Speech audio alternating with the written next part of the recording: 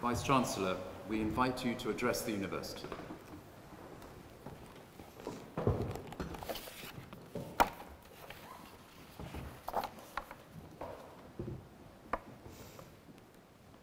Colleagues, students, alumni, by tradition, the Vice Chancellor addresses the University from the Senate House to mark the beginning of the academic year. It is just three months since I stood in this very place to address the University on the occasion of my admission to the office of Vice Chancellor. Rather soon for another speech, you may be thinking. I view this annual ritual as one of the great privileges of my office it gives me the opportunity to speak directly to all collegiate Cambridge about the state of the university and the important issues and decisions that face us going forward. It is my address, my bully pulpit, as one might say in the United States, my soapbox, as one might say in the UK, and therefore the views expressed are my own. But ideally, these October addresses will punctuate an ongoing conversation with all of you about how we can best realize Cambridge's mission. I want to talk today about my evolving understanding of the collegiate university and how it works. This understanding comes from six months of getting to know the place, and it's just the beginning of what I expect to be an ongoing quest. I confess to a fascination with living systems, human systems especially, and the University of Cambridge is one of the most extraordinary human systems I have ever encountered. Extraordinary in both its complexity and its achievements. But understanding the university is more than just an absorbing pastime. It is key to the development of a shared agenda going forward. The complexity of the University of Cambridge defies unitary description. I have found it useful to think of Cambridge as three separable entities, distinct in their goals, cultures, and modes of conduct, and interrelated in their pursuit of Cambridge's overarching mission. Cambridge is, historically, first and foremost, a community of scholars, a group of people, young and old, living and working together in pursuit of knowledge, understanding, and truth, wherever that might lead. Its dominant values are freedom, intellectual rigor, and the pursuit of knowledge for its own sake. It functions largely through interpersonal exchange within and across settings, disciplines, and scholarly communities. This is what we mean when we say we study, research, or teach at Cambridge. I've found the community of scholars to be alive and well, indeed more alive and more well here than in any other research intensive university I know. I've seen the community of scholars at work in everything from undergraduate admissions to the supervision of doctoral students, from the intellectual life of the colleges to the academic planning of faculties, departments, and schools. I learned about it from students who told me about their lives and work, and from academic staff, world leading scholars and researchers who told me they never could have pursued their particular career paths anywhere but Cambridge. The community of scholars is a vibrant ecosystem, a moral community but not a self-sustaining one, especially conducted at scale. It asks a lot of people, including the huge network of professional and supporting staff across the colleges and university, and the scholars themselves, who must sustain a level of effort and engagement that is challenging under the best of circumstances. This past year was not conducted under the best of circumstances, with unresolved questions about student workload, tensions in the supervision system, and the marking and assessment boycott. Although each of these challenges had its own underpinnings and dynamics, they shared a similar structure whereby decisions taken at an individual or local level aggregate up to threaten the functioning of the community as a whole. The community of scholars is vulnerable to problems of this sort, which can only be resolved at a collective level. The second phase of Cambridge is the public institution, the university with a mission to serve society, the nation, and the world. This is the Cambridge outsiders usually refer to when they talk of the university. This Cambridge contributes around 30 billion pounds a year to the British economy. Only last week it was ranked top in Research England's knowledge exchange framework, which measures universities' impact on the economy and society. It generates research discoveries that shape policy and practice in every sector. It produces a steady stream of graduates who go on to do transformative work in the UK and globally, and in so doing, creates a legion of passionate and loyal alumni who serve as unofficial ambassadors, enthusiastic supporters, and powerful advocates for our community. This is the Cambridge that, through its press and assessment, reaches over 100,000 learners around the globe this Cambridge welcomed the king immediately after his coronation to the groundbreaking for the new Whittle Lab. This Cambridge is partnering to build two new hospitals on the biomedical campus and is working to define an innovation strategy for Greater Cambridge. I've found this side of the university to be thriving, thanks to the ambition of staff and students to make a difference in the world, and Cambridge's history of making big bets and establishing strong partnerships that pay off. The focus of Cambridge, the public university, on application, translation, and impact is not in conflict with the academic rigor and truth seeking of Cambridge, the community of scholars. But nor is it the same.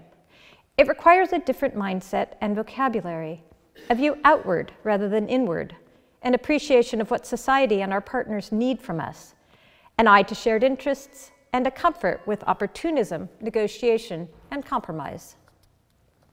These two faces of Cambridge, the community of scholars and the public institution, are both pursued here with extraordinary intensity and passion. They are intertwined in the university's mission and are jointly responsible for its most notable successes. Let me give a recent example. The Teaching Excellence Framework, or TEF, is a government assessment of the quality of teaching in UK universities that gives separate scores for the quality of students' educational experiences and the quality of the outcomes of their education. In the TEF results just released, Cambridge received gold, the highest score, in both of these categories and overall, one of just four Russell Group universities to achieve gold across the board. This is an endorsement of Cambridge both as a community of scholars and as a public institution.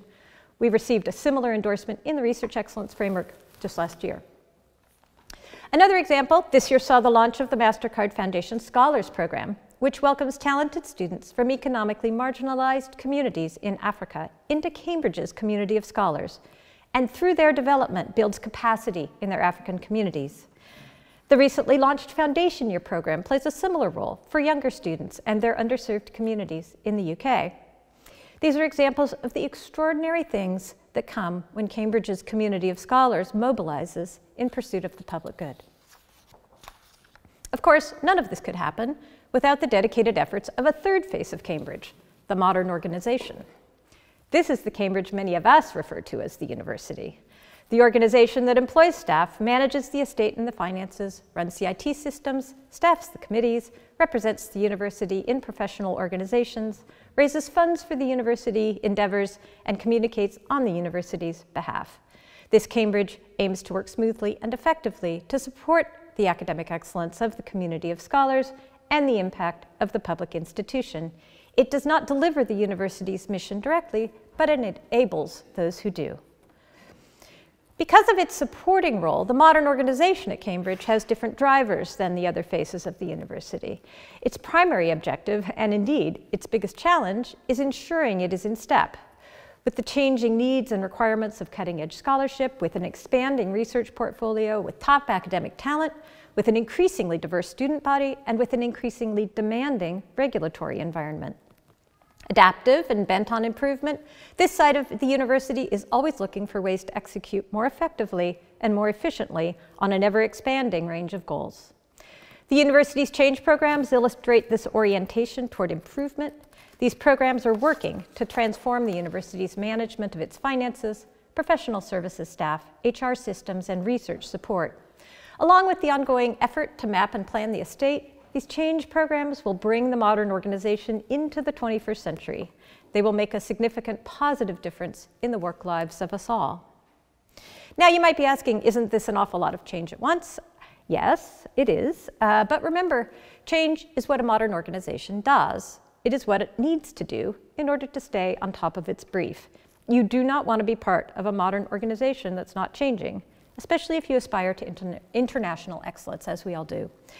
Change is a given. The objective is to manage it well. I've described the University of Cambridge as a composite of three entities, the community of scholars dedicated to truth-seeking, the public institution dedicated to societal impact, and the modern organization dedicated to effectiveness. I should acknowledge straight away that this description provides a gross oversimplification of the many purposes and identities that give this great university meaning. But it begins to hint at the sources of achievement and success, of creative tension and vibrancy, and yes, of conflict and misalignment that occasionally characterize the work that goes on here. What this description highlights for me is that Cambridge's sweet spot is where the aims of the scholars, the needs of society, and the capabilities of the organization align. Alignment is the key, and it cannot be taken for granted. Although I find people at Cambridge to be on the same page about many topics, the devolved nature of the university makes that common ground difficult to recognize, much less to realize. Those of us in a position to recognize alignment, or even potential alignment, need to seize on it, cultivate, nurture, and support it, and repair it when it goes awry. That is what constitutes leadership at a university like Cambridge. Now to the year ahead. The occasion of this address is the start of a new academic year, and this one begins in a mood of optimism. I send my own good wishes to our students, uh, especially those who are new to the university. I share their excitement at the prospect of being part of this great institution, both ancient and modern, and admired around the world. We all know what a rough deal students have had over the past few years. As the cost of living goes up and with mental health needs increasing, we must be more supportive of our students than ever. Supporting them will always be front and center of my mind. Just about a month ago, the UK government announced that we are rejoining the Horizon Europe program, the world's largest research collaboration program, from January 2024. This was absolutely brilliant news, long awaited, and a huge boost to our research community. Much of the work of the university this year will focus on people, for people are at the heart of everything we do. People are the means and the ends of the work of a university. I've talked about the opportunities and challenges of aligning the academic and public sides of Cambridge's mission, but none of that matters if people do not want to come to work here. It's people who animate the community of scholars and people whose imaginations and ambitions fuel the impact of the public institution. The past few years have been difficult for people at Cambridge. I only just arrived, but I see how difficult. Some of the difficulties, such as the cost of living and mortgage rates, are beyond our control. Others are not. We want to be a good employer, to provide people with good jobs at fair pay, and to make them feel good about working here. We also want to be competitive in the labor market. We want to be able to recruit and retain the most talented people. To these ends, we are working on a people strategy. It's not ready yet, but be assured that work on the people strategy has been underway for several months now and will occupy much of the coming year. We are aiming to improve pay and conditions in ways that respond to what we've been hearing from staff and are fair and equitable across the university, competitive with our peers, and financially sustainable. That's a tall order, and it will take a multi-year plan to get there. Will it meet everybody's expectations, fully mitigate the effects of inflation? Probably not, and I want to be clear about that up front. What it will do is enable us to recruit and retain top staff and ensure that they can live and work here comfortably. That is the goal. Talk of the people strategy leads directly on to the question of resources. The finances of this university are manageable uh, in that we're not in a crisis, but the margins are small. Year in and year out, we can balance the budget, but growth is another matter. If we want to do something new or do more in a specific area, for example, make appreciable enhancements to the value proposition we offer our staff, we have to do less somewhere else. These trade-offs can, in some cases, point to efficiencies and make us a better organization but they can also constrain progress and ultimately compromise our ability to carry out our mission. Increasingly for Cambridge, the way out of that box has been philanthropy. The Collegiate University has always raised funds from generous donors, but in recent years, the effort has become more focused, coordinated, and strategic.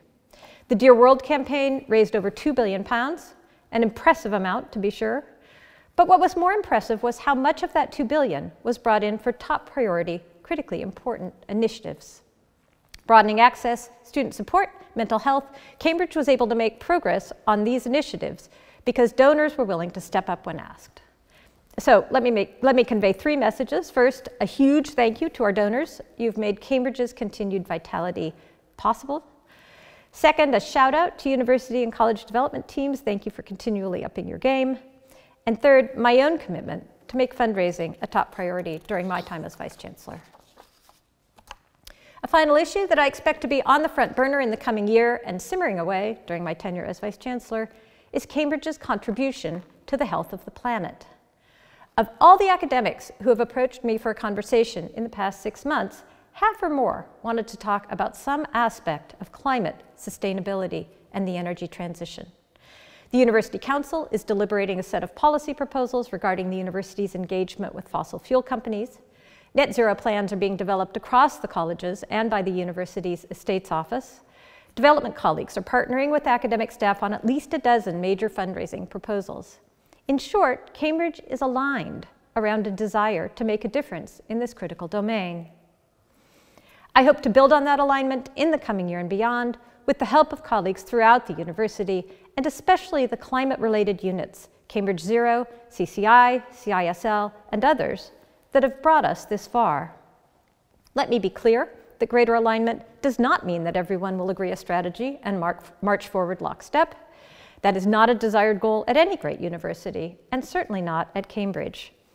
There are issues on which our scholars fervently disagree, issues regarding how Cambridge should lead in the energy transition, and I do not expect that to change.